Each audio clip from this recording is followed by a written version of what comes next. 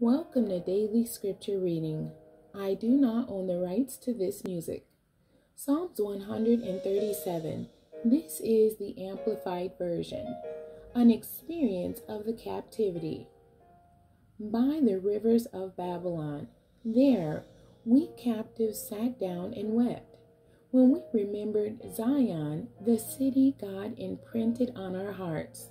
On the willow trees in the midst of Babylon, we hung our harps. For there they who took us captive demanded of us a song with words, and our tormentors who made a mockery of us demanded amusement, saying, Sing us one of the songs of Zion. How can we sing the Lord's song in a strange and foreign land? If I forget you, O Jerusalem, let my right hand forget her skill with the harp. Let my tongue cling to the roof of my mouth. If I do not remember you, if I do not prefer Jerusalem above my chief joy.